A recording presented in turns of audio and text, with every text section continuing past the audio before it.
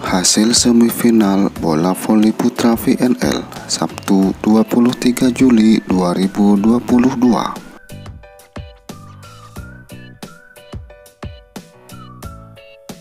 Polandia kalah 0-3 melawan Amerika Serikat.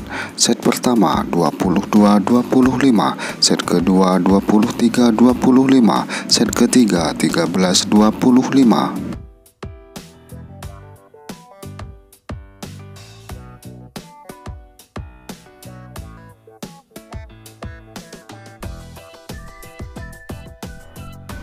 Jadwal semifinal bola voli putra VNL Minggu 24 Juli 2022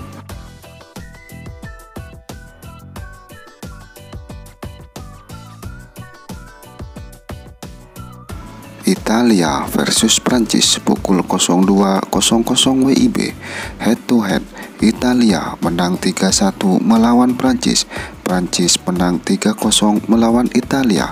Prancis kalah 2-3 melawan Italia. Prancis menang 3-0 melawan Italia